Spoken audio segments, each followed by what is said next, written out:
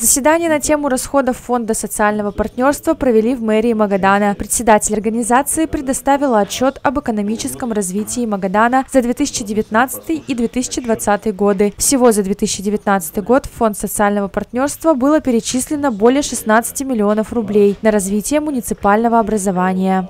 Из этой суммы на конкретные мероприятия были направлены, были перечислены а, значит, на для создания мемориала, посвященного подвигу личного состава первой перегоночной красноармейской авиадивизии воздушной трассы Аляска-Сибирь Алсип 3 миллиона 110 тысяч 500 рублей, из которых 500 рублей от физического лица Гантимуровой Любови.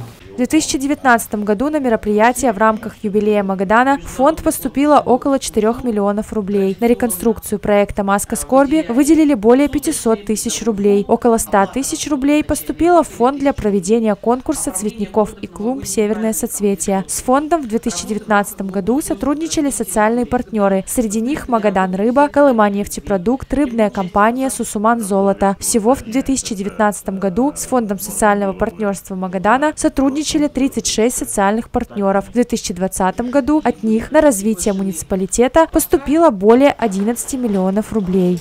Сколько делается еще помимо э, фонда социального партнерства по социально значимым решениям? Два автомобиля э, э, медицинской помощи для поликлиник, ежегодное оказание помощи Дома инвалидов, Дома ребенка.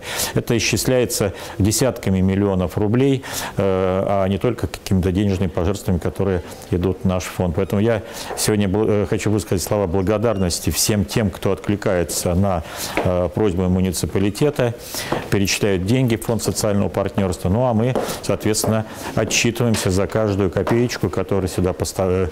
Э, сюда поступает. И сегодня отчет это подтвердил.